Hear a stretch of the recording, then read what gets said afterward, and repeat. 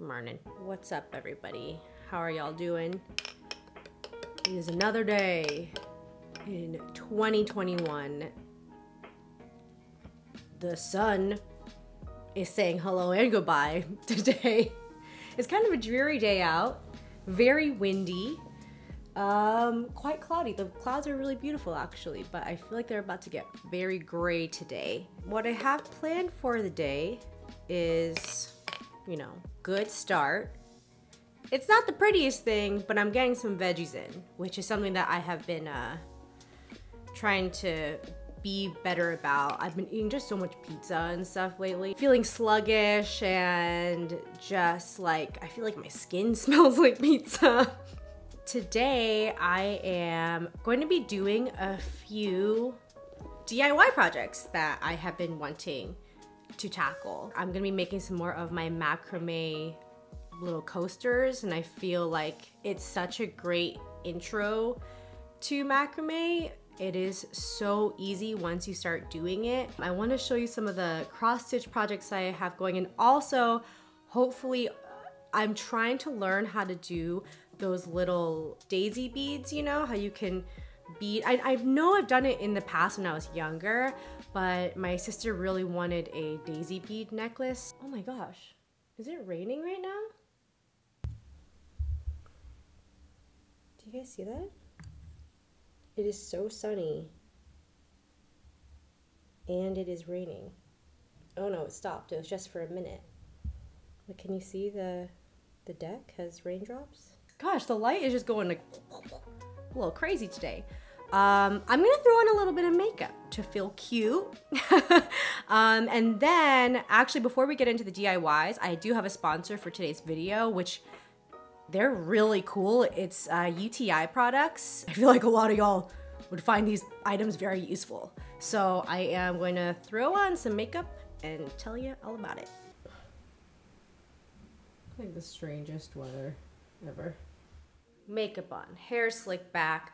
I've been really liking this like slick back bun vibe with the sweatsuit. Um, okay, like I mentioned before, I'm gonna be talking about a UTI product brand this video is in partnership with Uqora, and I have been testing out some of these products now since November. I'm sure I do not need to explain to a lot of you what urinary tract infections feel like and how debilitating they are. UTIs are the second most common infection in the US behind the common cold, and more than half of all women will experience a UTI in their lifetime. I feel like since the time that I got my first UTI until now, technology and everything has changed so rapidly. The conversations about UTIs and sexual health, like, I mean, we're, we're destigmatizing left and right. I wish I had these products back then though, because it just would have been, it, it just would have made things so much easier and, and less uncomfortable for myself. So I have one of their kits here. I would say this one is more of like a preemptive or just like a regulatory kind of system here. They also have a uh, emergency kit. In the emergency kit, they have like a test strip. They have a couple products that will like relieve the symptoms of a UTI until you can see a medical professional. This one is like upkeep you know? So here, this is the complete system. We have target, control, and promote. Uh, promote is a probiotic. It is a specialized vaginal probiotic that maintains good bacteria, keeping the vaginal microbiome balanced, and vaginal health is critical to urinary tract health. Control cleanses the biofilm, and biofilm can build up in the urinary tract Target's ingredients work upon urination and it flushes out the urinary tract. So they say actually to drink Target after sex and anytime you feel like you need extra support. I know a lot of people that even if they urinate after having sex, they get UTIs. That has definitely happened to me before. I've had five UTIs at least in my life, at least five. One of them so bad that like my kidney started, it was bad. Anyways, I will do anything to prevent a UTI from happening. I'm so, so careful about urinating after having sex. But for some people, that still doesn't work. So something like this could really help you out by flushing out the urinary tract. As I was finishing my glass, I realized like I don't even think I mentioned this when I was talking earlier that they are these little packets that taste like pink lemonade and they're pretty good.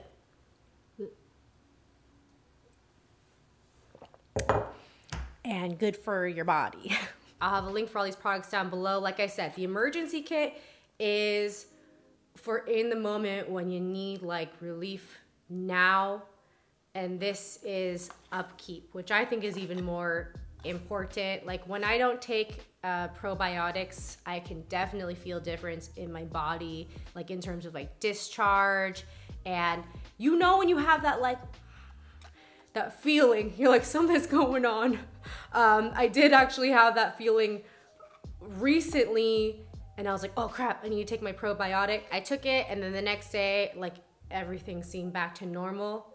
So obviously that's a good sign. I'm not saying that if you have chronic UTIs, like this is your end all solution, but this could potentially be something that could help you. So I don't want to mislead you here, uh, and Uqora doesn't want to either. But if this is something that you want to try out, I think you should just go for it. Let's get into some macrame.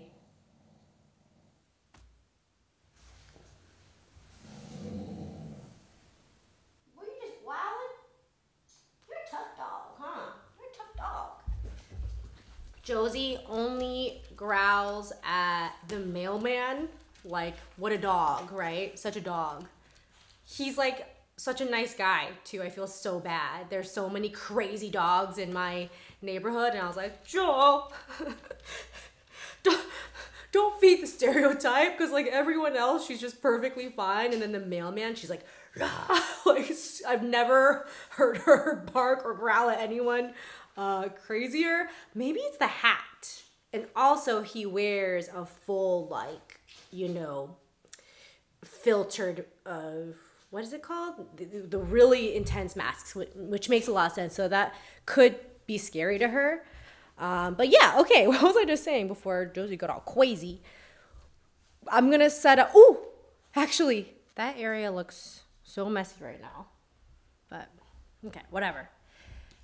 This is a cross stitch that I was working on over Christmas, even way way before Christmas, but it's done. My little kitchen cross stitch.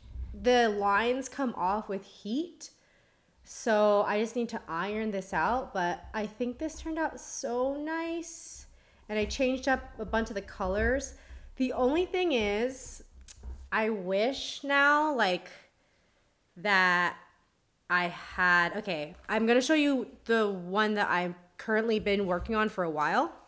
I wish that I had that fabric at the time because I just am not super into the stark white. And you know, I had this crazy thought. I was like, what if I cross stitch all the spaces with a color? And I was like, dude, I cannot do that because you know how long it took, like, you know how long it takes just to do that, like the light, th- think of like this, this purple here is an entire night, like just this zone. Or like the fridge took me multiple days to do the fridge. It is like so time intensive to cross stitch. Um, so I was like, I cannot. I don't know. Maybe. Now that I think about it, maybe because I'm now taking a break from it, I'm like, I could do that. No, that's so. Oh my god, all that, all the white. I'm also trying to figure out. Um, I cross stitched it on my plastic uh, hoop, which I do prefer to cross stitch on because it really does make the fabric really taut. Whereas when you have it on a, a wooden one, it gets loose really fast and really easily. Um, so I need to get a hoop to put this on and then I can finish it off and then I'm gonna hang it I think like next to my window. Do you see that? Like but it's lower. Like there's a little zone over here that I might hang it in. This is my bathroom one that I'm working on. Oh my god, I'm so lame. Um, this is the bathroom one that I've been working on, and I wish I had this fabric for that one. How cute would that have been? this kind of like natural kind of look on here. So I've finished all the white parts and I have to fill out, oh my goodness, here's my pattern, which is better for you to see. No, wait, here's, here's a printout, oh my gosh, of what it looks like online. But I change, I'm changing up a ton. See, I crossed out a bunch of stuff. Those are all the colors. I changed out a ton of the colors. I'm making it so all the bottles that are gonna be sitting on here are actual products that I like. Um, okay, wait. There's so much to show you. This is why I have this over here. These are all the products that I am trying to include in the pattern. I wrote it out here. Here you go. So I kind of like obviously measured out exactly the space that I have in the little shelf. And then I made three shelves. Um, so we have like a Summer Fridays, Sulwhasoo, Eve Lom, Augustinus Bader, Supergoop Primera, Tata Harper, Murad, Augustinus Bader, Lancome. These like all the products I'm actually currently using, which are all, yeah, right here. So I figured out the spacing. Oh yeah, and in the shower shelf, I am putting my Function of Beauty ones. Like this is kind of like a copy of a similar shape that they already have. So I'm gonna, I just need to figure out all the colors and stuff. Uh, I'm gonna do the hand towels, my brain dead ones. I have these green, I'll just show you. So crazy? I have like too much. I think I have too much alone time right now, like for real. But okay, so the hand towels, I'm gonna try and make it look like my brain dead hand towels. They also have full towels, so I might like try and copy one of their full towels, but it pretty much just has this like little I, I can't fit this on a, it's like the tiniest little space. So maybe I'll just gonna try and make it green.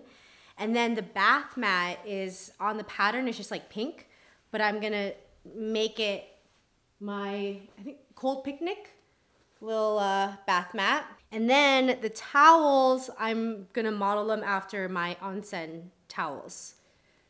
Wow, I have like a lot of really custom towels. I didn't even think about that. I really do. I am gonna set up right here the macrame coasters. Oh, let me just show you a little finished product. Okay, this is what I'm going to be making more of today. So, so easy. And I mean, just fun. You could do it anytime. So I'm just gonna set it up right now. One sec. Next day, Stephanie here. Yes, I'm in the same sweatshirt. Shh. So yesterday I filmed the macrame coasters. I just really don't like or I didn't like how the angle was and the lighting and everything just wasn't it just wasn't up to my standards. So I'm just gonna go ahead and redo it today. Okay, I figured it out. Um, this is what this whole situation looks like right now. Hello. Look at my tripod. It's all crooked looking, all crazy. So all you need for this project, these coasters right here, uh, is macrame. I'll link this. This one's just from Amazon, to be honest, and I'll link it down below.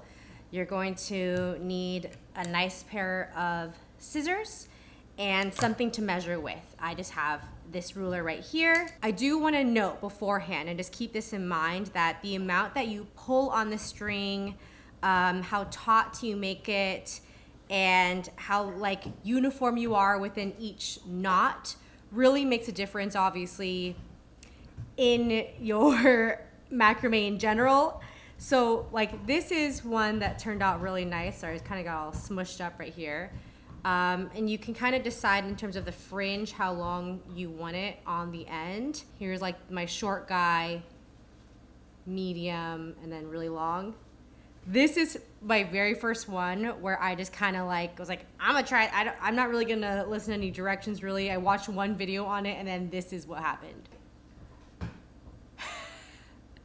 It's like uh, you versus the guy she says not to worry about kind of situation. So just letting you know, like this was my very first one, and then like pretty much one just like this was the next one.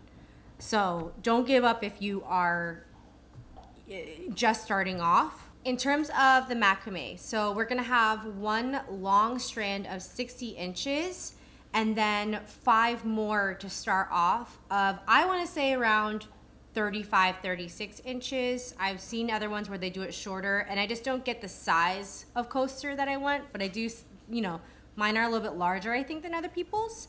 So let's do that. One of 60 inches and then five around 36. All right, so here we have our five shorter ones, and then here is our longer one. With the longer one, what you initially wanna do is make a loop. And I'm gonna show you, this is how the loop is gonna look, like this.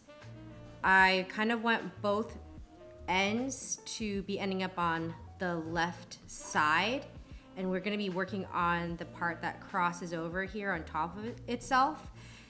We're gonna grab one of the shorter strands and we're gonna do something called a cow hitch knot. And what that is, is that you are going to fold the strand in half and you are going to pull it underneath this loop, so both strings, and you are going to pull it through itself and then tighten. I like to work uh, on a surface like this, or if you have like a, I don't know, a wood wood table, but the marble is just like really slippery and it kind of makes it hard to grip sometimes. And we're gonna continue on with all five. So underneath and then bring the two strands through.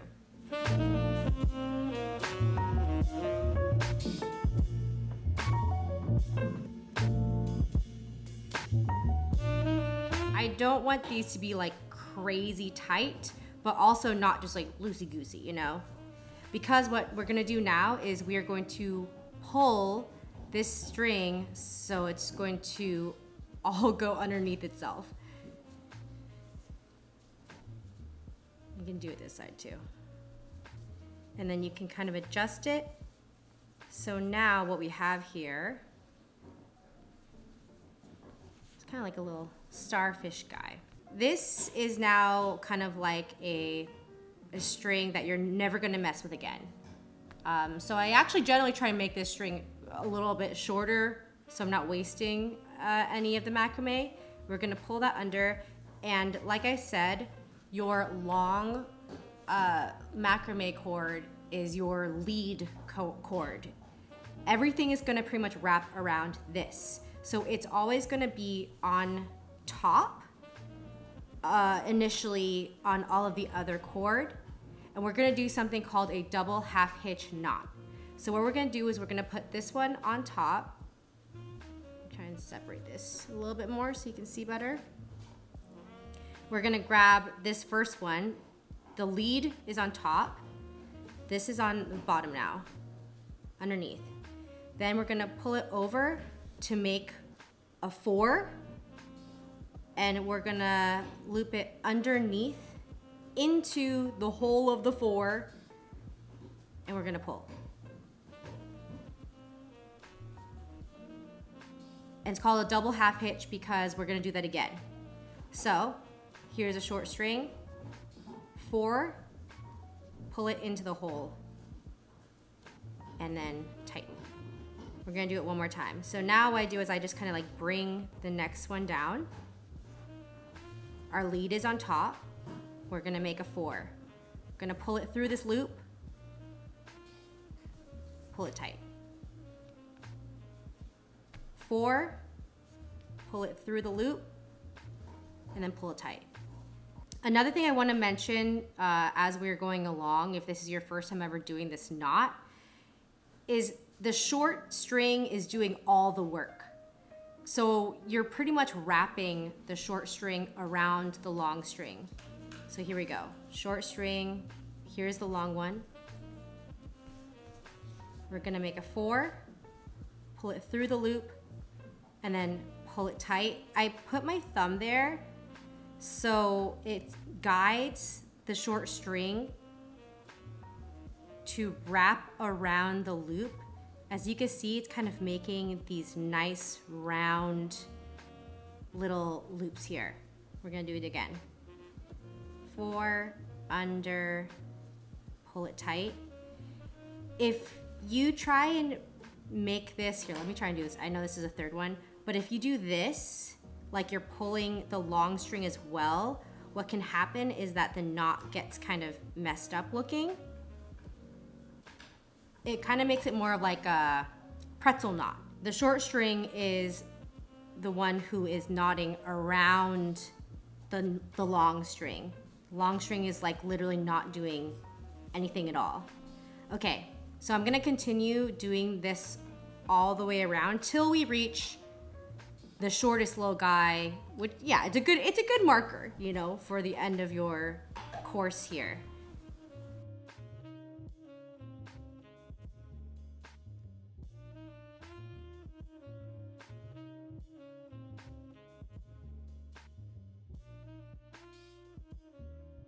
As you can see, there is a bit of a gap in between the final cord and the first one. What we're gonna do now is fill that gap with macrame. And the way to figure out how long you want the cord to be, the way that I figured it is I just see how long the last cord was. And I double that and add a little bit more uh, for the loop. I kind of, you know, I'm, a, I'm pretty forgiving with this, but honestly, if you start doing a lot more macrame projects, the amount of cord that you kind of end up wasting is a bit of a shame. So I try and be a little bit more exact now, but when you're starting off, it's fine. Just like waste away. so what I'm gonna do is another cow hitch knot. This is the long cord. I have the one I'm adding on and I am pulling it through.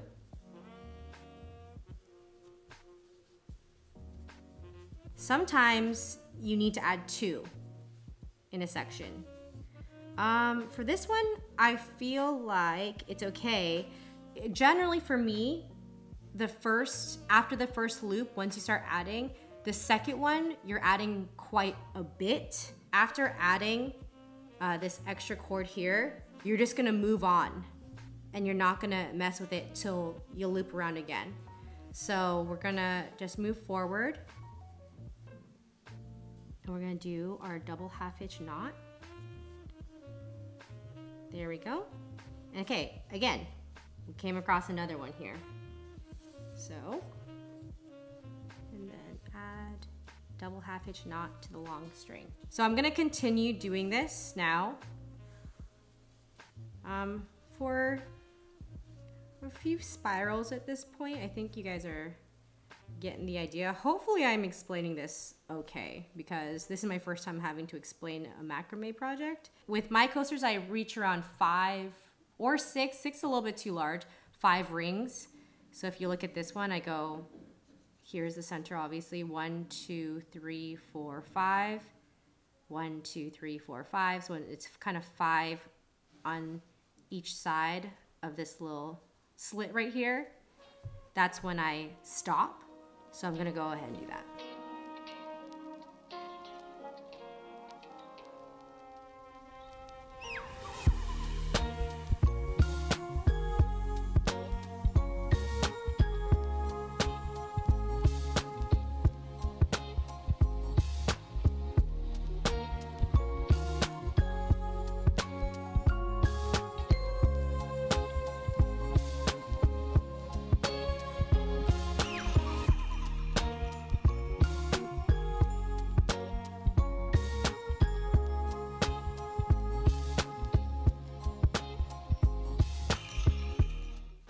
Okay, I have a couple corrections at this point.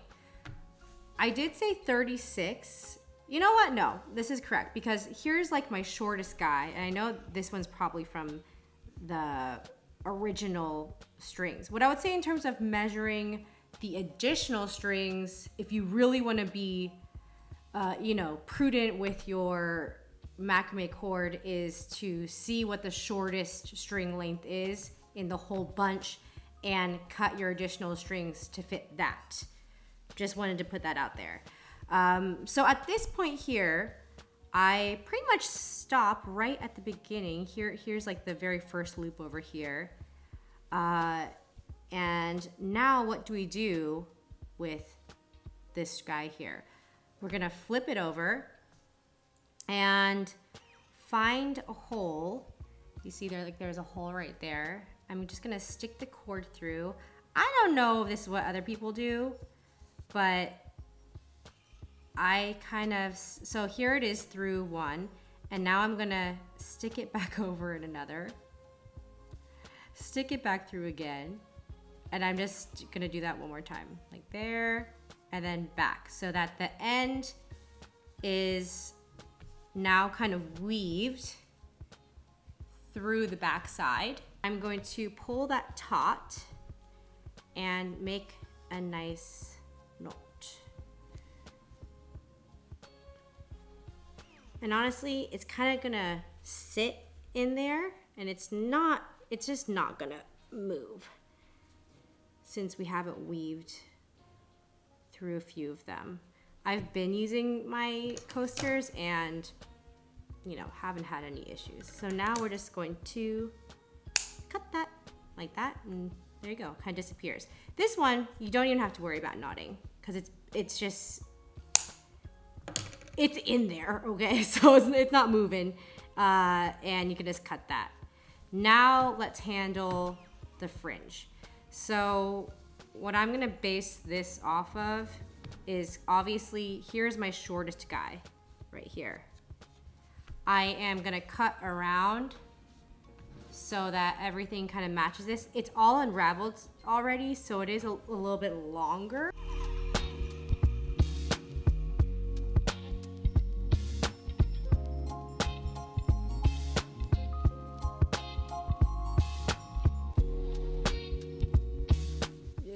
Totally not even right now, but we're gonna be adjusting that more. So currently what I'm gonna do is I, before brushing it out, I like to unwrap them a bit and I just kind of, this is what I do, twist it, twist it opposite. It doesn't have to all the way unravel, but it makes the brushing out process a whole lot easier. Now that we're all twisted out, we're gonna brush it out. And the easiest thing to do this with is a dog brush or a pet brush. I like to bring it into the base and do a little wiggle and pull. Do a little wiggle, pull. Josie's actually watching me do this right now from the couch. I wish you could see. She's like, what are you doing? Is that an animal? Again, I don't know if this is the best way to do this, um, but I have found that I like this, this method. This is now where we're gonna trim it from. I'm gonna trim off a lot, actually. Is that not the most satisfying sound ever? Also, very important to get yourself just a nice pair of scissors that are only for fabrics and these kind of projects. No paper. Okay, here we go right now. Honestly, I would prefer to do it a little bit shorter, but I am making these for my sister, and I think this is kind of like the size-ish. Might I might cut a little bit more on this side, but this is the around the size that I think I'm gonna make for her. Oh man, I could just keep going and going with this. okay. So yeah, what's up y'all? I did it. oh my gosh, this is a little bit of a challenge, but uh, we got the video to, oh, Josie is now just pulling every single toy out of her basket. Okay. I'm gonna try and do this quietly so she doesn't see that I'm talking about her. Otherwise, she's gonna come over here So there's her toy basket. That's her dog bed. And then I I usually stack my two poofs. I'm sitting on one right now, and I have the blankets on top of the poofs.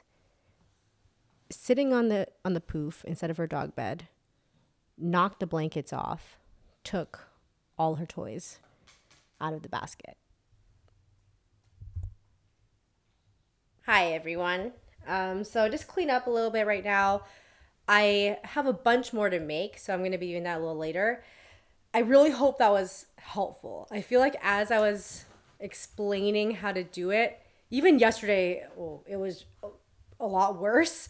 Um, but yeah, I hope I explained it okay so you get the gist of how to wrap the macrame and everything. But um, I was going to move forward and try and do the daisy chain right now and show y'all, but it's actually okay out. It's freaking cold, actually. Um, but it's gonna be raining the next few days, I believe. And Josie, we just really need to go to the park and let her get some of this energy out, huh, Joe? Yeah. So I'm gonna be taking you to the park with us. You wanna go to the park? You wanna go to the park, Joe?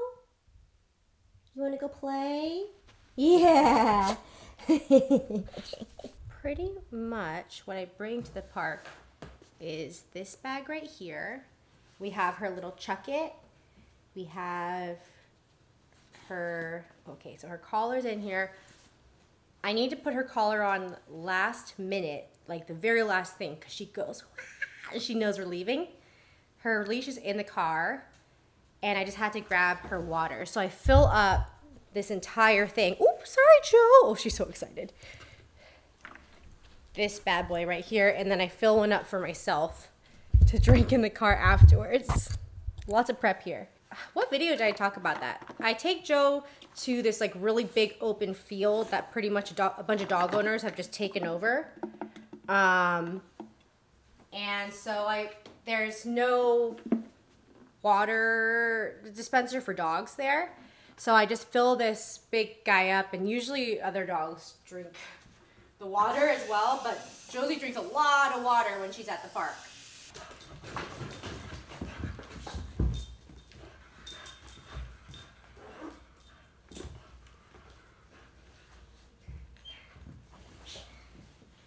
ready for when we return.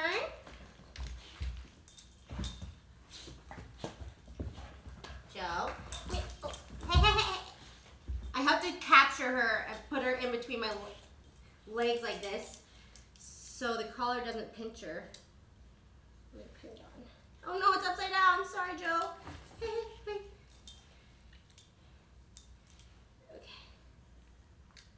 Okay, here we go.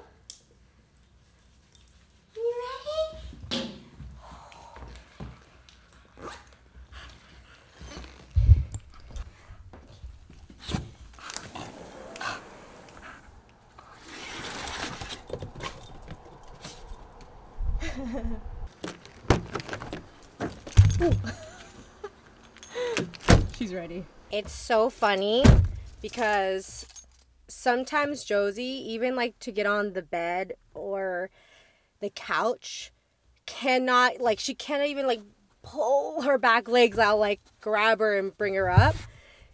But she can jump straight. She can jump so high. She's so funny. Okay. Are you ready to go to the park? Let me, Josie, come here. Good girl. Good girl. She has a little seatbelt on.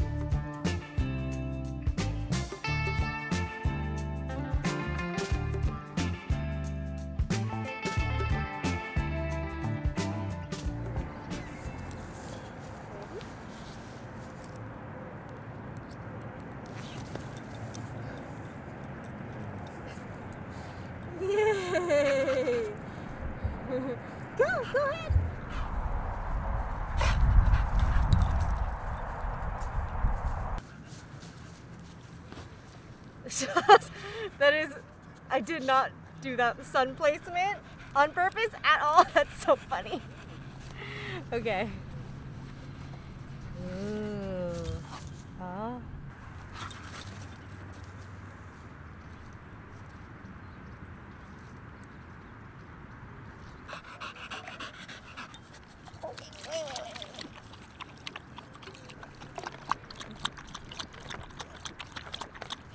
Oh, hello.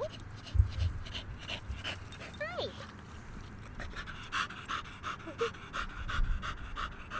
No, it's okay. Oh my goodness, look how beautiful. Oh my gosh, gorgeous. oh, it got stolen. You better go get it.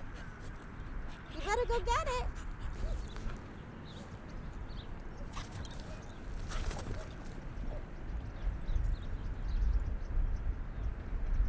Hello.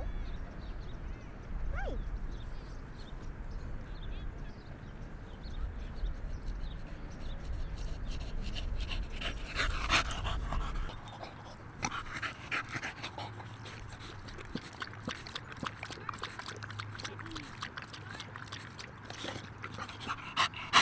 yeah, Joe. Okay, Josie knows what time it is. Come on, go ahead. Thank you. All the way in. Thank you. This angle is too much of my like Asian squat. I hope.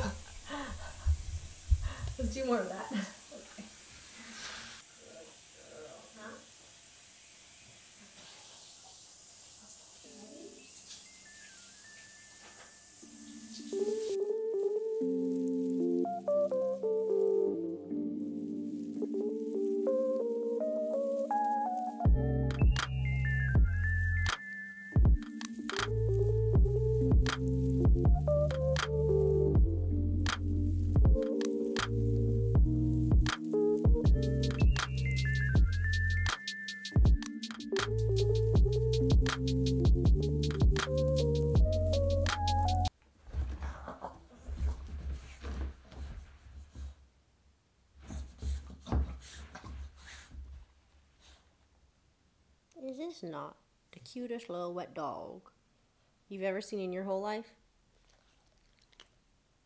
Oh!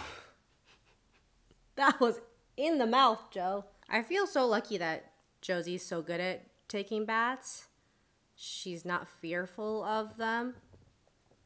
And I have my my like system down, you know, like my my method of bathing her so that she only shakes like right at the end. And actually, this time around, I didn't have the towel ready. Usually, I have it just on the ground right in front of the door, and I realized it was like on the sink on the other side. So I usually don't even catch any of her shake. So I think I'm making an executive decision for this vlog. I know at the beginning I said I was going to do the daisy chain necklaces, but with all the footage, this vlog would be like an hour long if I included that, like edited down. So I'm just gonna put that into the next one. I also I had the footage from that one yesterday I because I didn't like how it really looked just like the macrame one. So I'm kind of happy to have the opportunity to film it in a way that just looks nicer anyways. So I apologize about that, but it'll be in the next vlog, which will be coming up really soon then. Um, I also was wondering, I know sometimes if you want to learn how to do something like making a macrame uh, coaster, you you don't want all the fluff all around it and you just want the information. So I'm wondering like do you enjoy these vlog style kind of videos with DIYs in it or do you just want a video of the DIYs, no vlogging? Um, I'm wondering which is more enjoyable to watch. I think what I'll do is I'll put like a timestamp of act the actual DIYs when I put them into future vlogs so you could just like jump to it. Thank you so much to Uqora for partnering with me in this video. I'm always really happy to have companies like Uqora contact me. Um, items that are like really useful in in life. Ugh, UTIs are just the absolute worst and prevention is definitely key, especially right now. It's just not the time to go to the, the hospital or an emergency room. Like I had to go to an emergency room one time from a UTI that just happened out of nowhere. So it's just not a good time. And so if you have these things on hand and you're preventing it from happening, then that's like one less thing, I guess, to really worry about. The link to the Uqora website, once again, is in the description box. Uh, check it out. I hope y'all are staying safe out there, that you're doing well emotionally, mentally, physically. I am here with you. So, yeah. Hope you're doing well, and I will see you in the next video. Bye.